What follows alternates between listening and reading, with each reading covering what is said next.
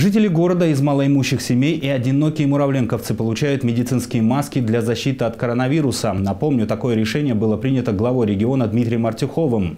Получить бесплатные средства индивидуальной защиты можно в Центре социального обслуживания населения в рабочее время. Их выдают муравленковцам, попадающим под категорию нуждающихся и состоящим на учете в Управлении соцзащиты населения.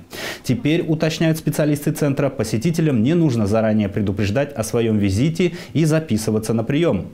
Для получения масок нужно а, подойти по адресу Дружба народов 32, дробь 2. А, в рабочие часы это с половины девятого до половины первого и с двух до 17-12. При себе иметь паспорт. Средства индивидуальной защиты выдают с соблюдением всех санитарно-эпидемиологических требований. За время реализации этой меры поддержки муравленковцам уже вручили около 100 тысяч масок.